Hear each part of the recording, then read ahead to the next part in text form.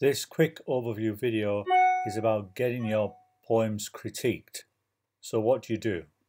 Well, you first of all have to have poems in your workspace and then you wait.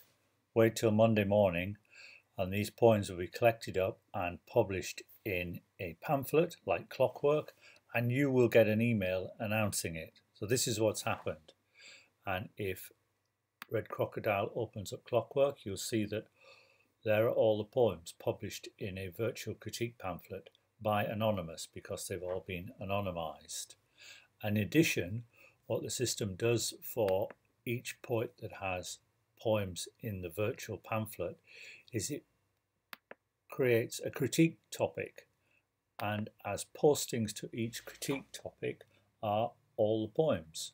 So if you look down, you'll see that Red Crocodile has already started on critiquing this poem, What Will Persist, by typing in my first critique. And all he's done is clicked on the edit pencil and away he can add more comments to follow. And then he started critiquing. Submits that and it's as simple as that. So the lesson is if you want your poems critiqued, wait till Monday morning. Then you should get an email announcing the pamphlet. That's it. Thank you.